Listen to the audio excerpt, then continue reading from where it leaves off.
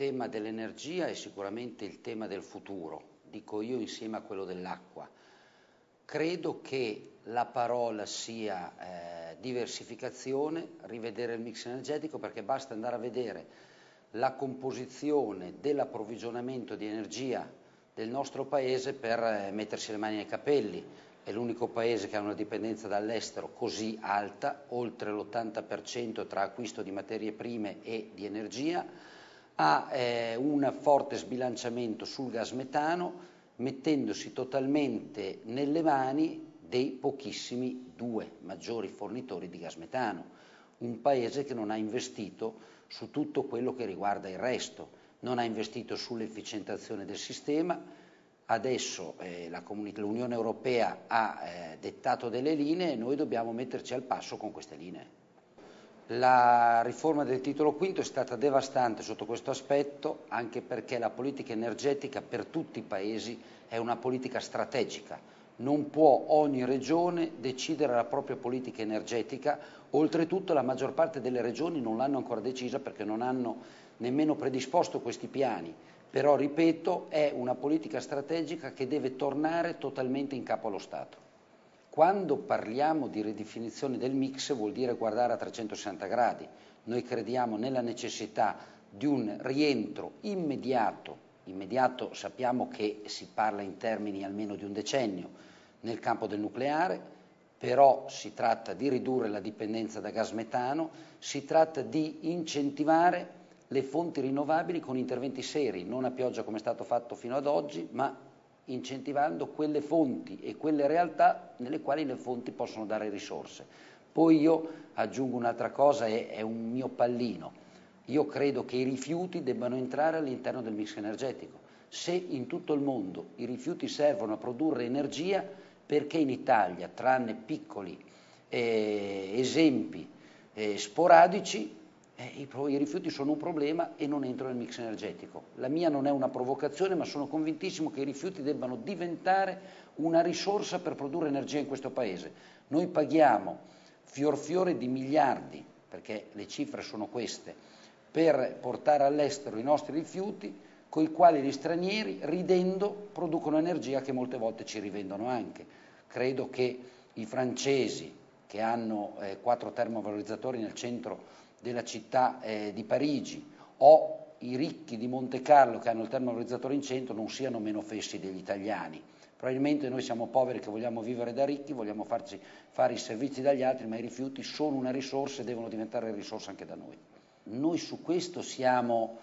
diversi, nel senso che non diciamo che abbiamo un piano, noi diciamo che l'Unione Europea, come dicevo prima, ha un piano anche, anche sul risparmio energetico dobbiamo cercare di attuarlo perché in Italia la dispersione energetica è la più elevata d'Europa, è con cifre che raddoppiano, triplicano, molte volte hanno dei moltiplicatori ancora più alti rispetto specialmente ai paesi del nord dell'Europa. Dobbiamo efficientare dunque le nostre abitazioni, le nostre aziende, i nostri uffici pubblici, perché il problema vero è che non c'è efficientazione all'interno della pubblica amministrazione che è parte rilevante di questo Paese e parte rilevante anche nel consumo di energia. I nostri uffici pubblici sono vecchi, non risparmiano energia, non hanno spesso, eh, non adottano soluzioni che servano a contenere questi costi, perché sicuramente noi dobbiamo guardare alle fonti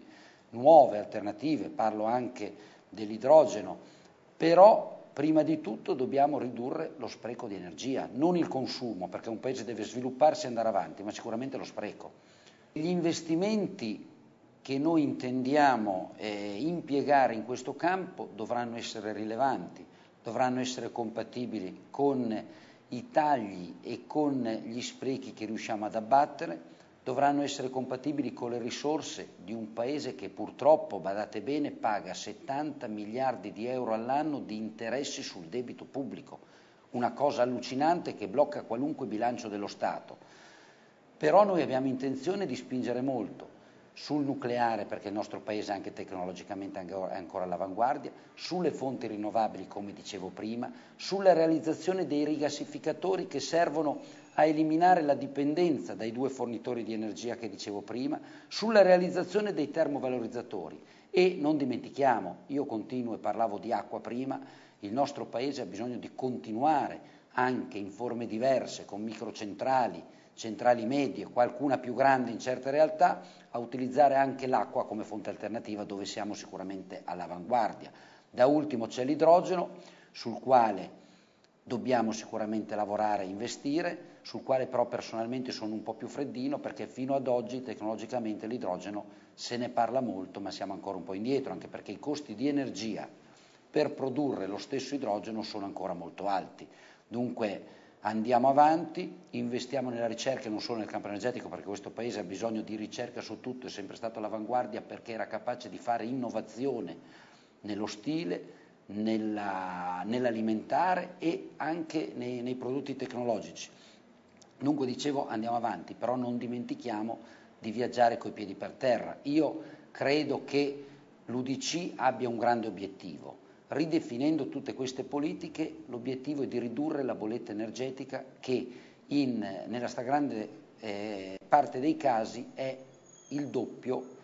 o sicuramente il 50% in più di quella che pagano gli altri paesi europei. Ecco, la bolletta energetica, se sono poi le bollette che paghiamo a fine mese, le pagano le industrie che producono e alzano i prezzi le pagano le famiglie e specialmente quelle famiglie che fanno più fatica ad arrivare a fine mese. È un altro modo per difendere la famiglia, riduciamo i costi dei servizi. Io credo che sia una dichiarazione eh, demenziale quella di chi dice che bisogna attendere a rientrare nel nucleare perché le, le tecnologie continuano ad andare avanti. Le tecnologie continueranno ad andare avanti. Abbiamo fatto passi da gigante, ricordiamoci che noi abbiamo bloccato il nostro intervento e utilizzo del nucleare sull'onda di una, dire, di una paura giustificata da parte dei cittadini, ma non spiegata da parte dei politici per il disastro di Chernobyl, che era già una centrale non di vecchia generazione, ancora prima, dico io,